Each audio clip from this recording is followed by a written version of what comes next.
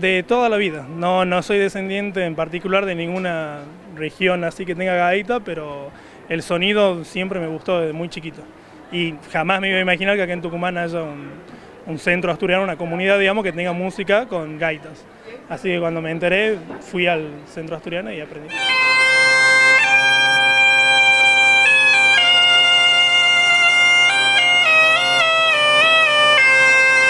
Toqué en Mendoza un año, que viví ahí, eh, también con la banda de gaitas del Centro Asturiano de Mendoza.